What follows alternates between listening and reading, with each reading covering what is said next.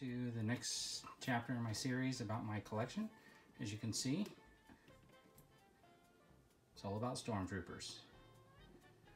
So right here, you can see I got my classic vintage Star Wars Stormtrooper. And I have the Black Series Trooper. It's pretty good. It's pretty good likeness. But in addition to that, I wanted to show you these two. This is uh, the sand the stormtroopers on in the desert. You can see I got my TIE fighter pilot, my TIE fighter pilot.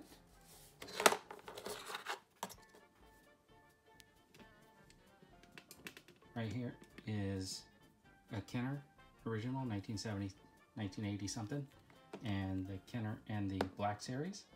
They're pretty good, except for there's more color, of course, in the Black Series one. You can see that I got my AT-AT driver and AT-AT driver.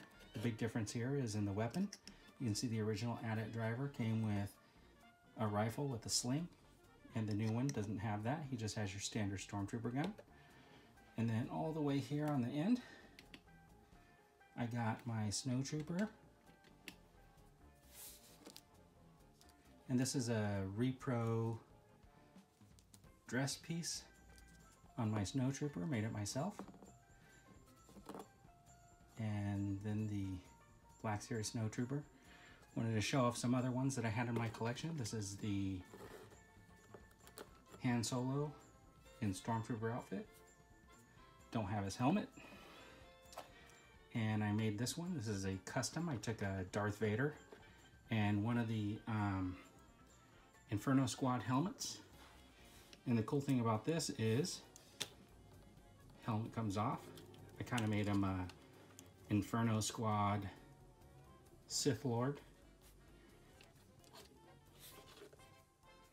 Some clone troopers from the new series. Three different kinds.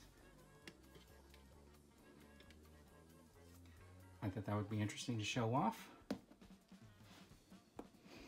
Got my Death, Death Squad figure from Rogue One. I actually have a troop of these guys.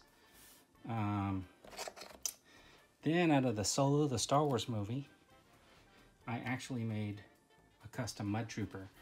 And he's based off of the Death Squad, but I, of course, had to make the helmet and gas mask myself, and I did the cape. And he's a combination of a couple of different pieces here. It's a Death Trooper. This piece came off a Resistance Fighter um, from The Force Awakens.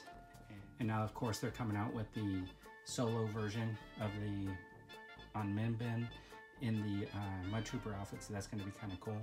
I originally wanted to take this guy's helmet and modify it because he already had the goggles and I thought I could make like a face mask. But the problem with this helmet is it's really designed for this head only because um, they made the head a little bit smaller to fit into the, the helmet so you could take it off. Trooper collection. So we'll just take one more quick look at everything.